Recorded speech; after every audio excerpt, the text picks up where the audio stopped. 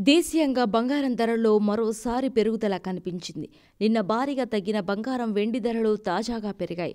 ఈ నేపథ్యంలో ఆదివారం అంటే మార్చి పద్నాలుగున బంగారం ధరలు ఎలా ఉన్నాయో తెలుసుకుందాం.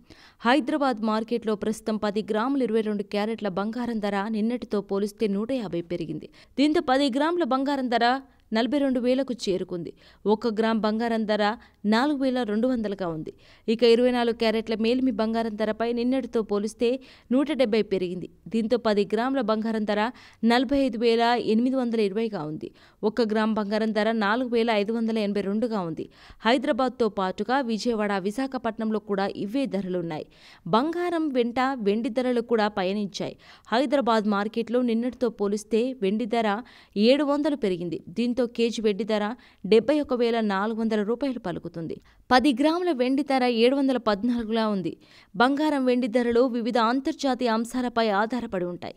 కాబట్టి బంగారం కొనుగోలు చేసేవారు మరొకసారి ధరలను పరిశీలించుకోవడం మంచిది. Press the bell icon on the YouTube app and never miss another update.